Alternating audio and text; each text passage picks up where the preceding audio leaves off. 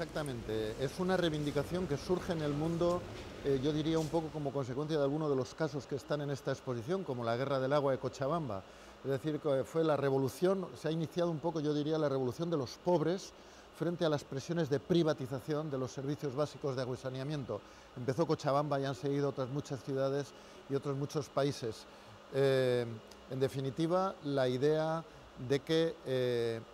lo básico, lo esencial, eh, lo que en definitiva es el acceso a una proporción que Naciones Unidas empieza a hablar de 40 litros por persona y día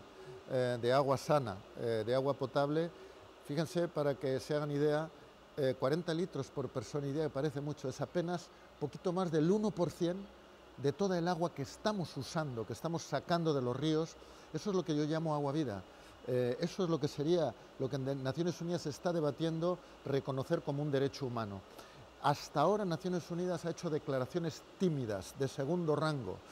y por primera vez hace un año, a propuesta del gobierno español y del gobierno alemán, hay que decirlo, eso pues eh, podemos sentirnos eh, dignamente orgullosos de, haber tomado esa pequeña iniciativa, eh, está a debate en un proceso que durará un par o tres de años en el Consejo de, de Derechos Humanos de Naciones Unidas, justamente este proceso de declaración formal de esa proporción básica eh, de, provisión de aguas de calidad como un derecho humano y por tanto como un derecho que debe ser de acceso universal. Yo diría que yo sitúo la categoría prioritaria de lo que yo llamo agua vida, vinculado al ámbito de los derechos humanos, como el agua necesaria para que eh, los seres humanos, las comunidades, eh, puedan sobrevivir con dignidad y para que el resto de seres vivos puedan también vivir, porque es imposible que el ser humano viva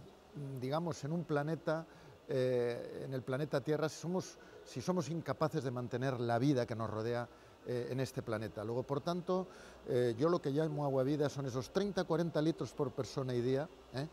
que es, repito, poco más del 1% del agua que usamos. Cuando a mí me preguntan eso cómo se haría físicamente, yo digo, miren, eso es la fuente pública potable y gratuita cerca de casa de todo el mundo. Nadie se llevará más de 30 litros, aunque sea gratis, para llenar el jacuzzi. Pesa demasiado. Bien, pues eso sería el agua vida, apenas el 1% del agua que estamos usando. Y además, yo pienso que también debe considerarse agua vida las dotaciones básicas de agua para producir alimentos, muchas veces como derechos históricos, tradicionales, ancestrales, eh, en las comunidades más pobres y vulnerables. Y por último, el agua que requiere la naturaleza para que los ecosistemas estén sanos. Eh, ahí sí que hablamos de mayores cantidades y mayores exigencias de calidad, pero si no preservamos la salud de los ecosistemas, la sostenibilidad de los ecosistemas, difícilmente vamos a tener accesibilidad al agua potable.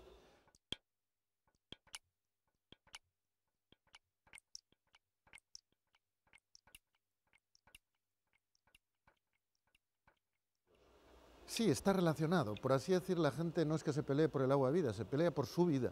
se pelea por su dignidad, a veces por su territorio. Eh, cuando vemos casos como los de aquí, los de Narmada, los de Tres Gargantas, los de Yacyretá,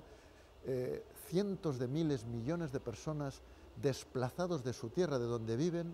sus casas, sus pueblos inundados, sus espacios de cultura y de vida también destruidos, en nombre del interés o del desarrollo de otros,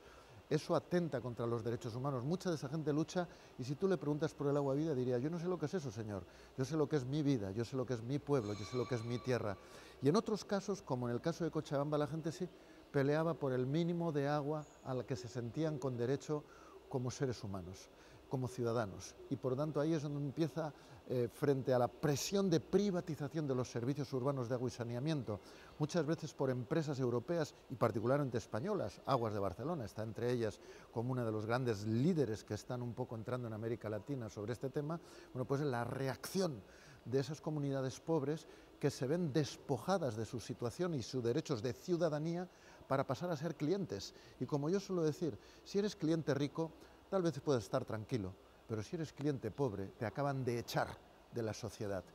Y echarte de la sociedad en tener o no un teléfono móvil a lo mejor no es grave, pero echarte de la sociedad negándote el derecho básico al agua, como sería el derecho básico a la educación, a la salud, entonces sí, es grave, entonces sí yo creo que se entiende que haya habido ese inicio, esa revolución de los pobres contra la privatización.